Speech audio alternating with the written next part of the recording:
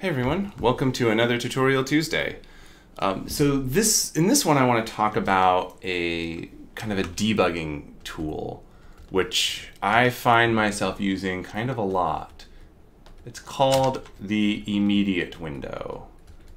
And this is a very Visual Studio specific thing. So if you're not using Visual Studio, then this isn't going to be super useful for you.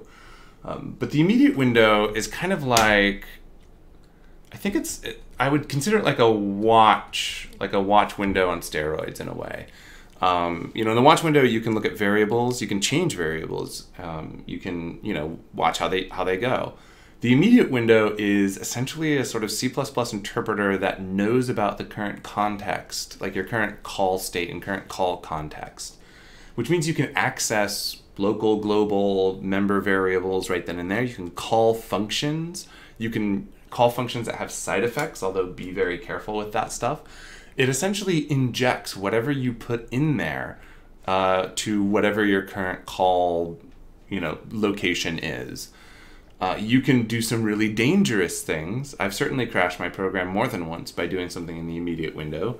Um, it, it will have potentially permanent side permanent for the game state, I guess, uh, program state side effects. So you, you know, be careful because it may create an invalid state just by doing something.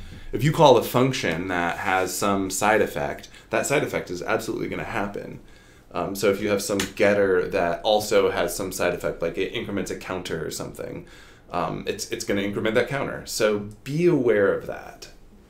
But it's a very very powerful tool, and there's certain things you can do in it that you can't do in the watch window at all. Um, and I'll give you an example of that. So you know the example that I have is is this guy. So I'll just I'll I'll kind of briefly walk through this. Um, I have this concept of of these character stats. I just created this character stats class, and I just created a strength stat, um, and this concept of these bonuses. So a lot of times in games you'll have a character that has some base strength or whatever, some base stat, and then you have a bunch of buffs that will add a bunch of you know values to that. Um, so, you know, you might be wearing a ring or you might have like a spell that's been cast on you and so on. So for this example, I'm just going to abstract it a little bit and have this concept of these timed bonuses. So it's a bonus that lasts for some amount of time. So uh, if you have a bone, if you have two bonuses on you that you know, if you have a base strength of ten and you have two bonuses on you that are you know each five, then you will have effectively a strength of twenty. And then one of those bonuses will eventually time out. Your strength will go down to fifteen, and so on. Um, this class is really simple. It just has this sort of concept of these character stats. It has an update, uh, which will just update um, all of these time bonuses. The time bonuses are these guys. It just has a bonus and a frame timer.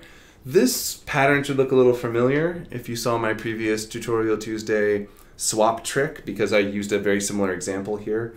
Um, so it's going to remove this, you know, lower this this frame timer and return you know, whether or not this frame timer goes to zero. So once the frame timer hits zero, this bonus needs to be removed. And uh, I use the swap trick right here to remove that.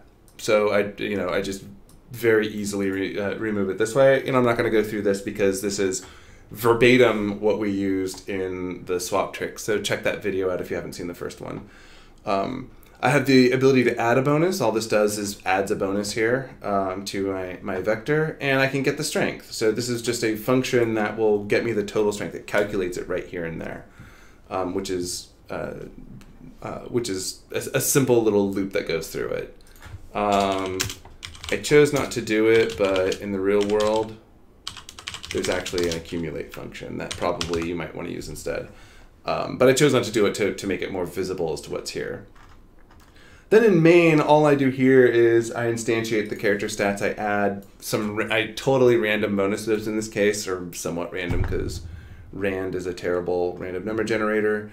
Um, and then, you know, we're ready to go and we have this loop. So the loop will update all the stats and then we'll check to see if strength is less than some minimum strength value. Um, and that minimum strength is this, and it's what we start as our base. So basically, once all the bonuses are gone, we're done. And so if I build this and run it, so I step, the problem is that I can just keep going, right? It never exits, and there's a bug here. You know, well, what's what's going on? Why am I never exiting? Like these these should go. So you know, I could step through it and all that stuff, and that's that's pretty straightforward. Uh, and the bug is really simple. Um, you know, I can spoil the bug and say that this is the bug, right? It needs to be less than or equal to main strength or min strength. Um, but let's kind of go through it as if we don't know. You know, I've created this in a real game. There would be a lot of complexity going on. So, um, you know, this is a, a trivial example, admittedly. Um, so what I want to do is uh, I'm to hit, I'm just to set a breakpoint. Actually, I'm to set a breakpoint here. And oops, let's build this guy and run it again. And so here we are. And as soon as I hit this, I'm here. What is my strength at this point? Like I can't even calculate it because these are, are relative, are somewhat random. So, you know, and I can't. you know, I could go to stats, like I could actually dig into this. Right, this seems like a pain in the ass. So let's let's kind of go in here and go onto this side.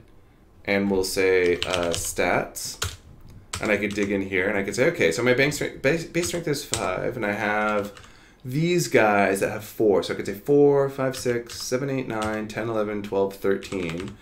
So 13 plus 5 gives me 18. So I should have a base strength of, or I should have a total strength of 18. That should be my strength at this point.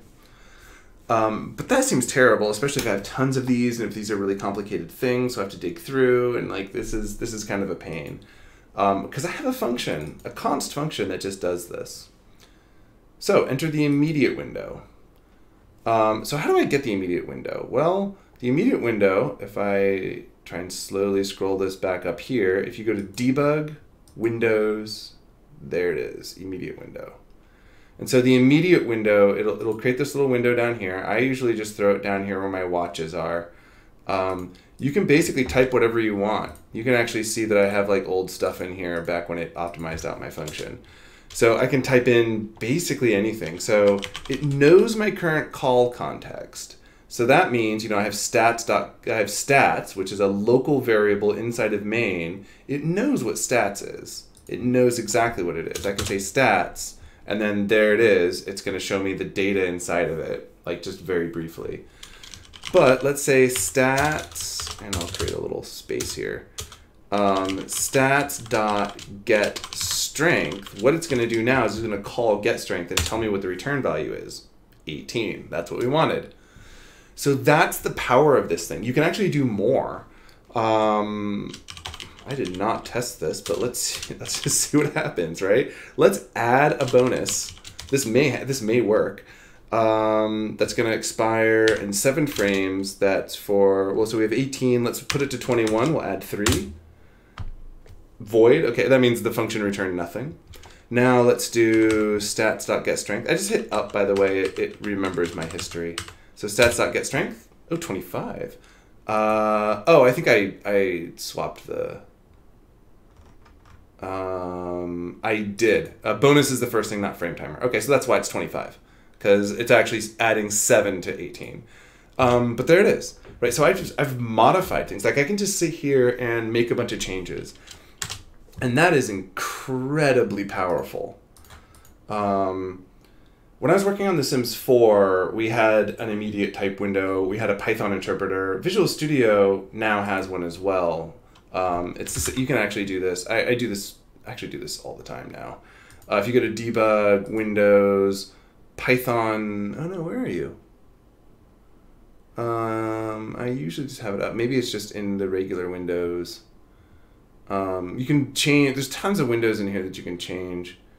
Um, oh, here it is. Tools, Python, uh, Python interactive window.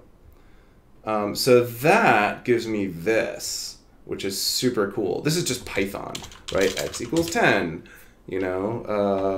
Um, I can, you know, create some list of like, you know, y equals some list, right? And then I can just print it, right? You can do all sorts of things.